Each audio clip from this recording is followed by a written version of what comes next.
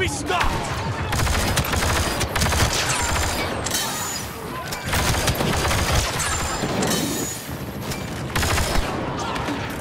Turrets in place. Not looking good.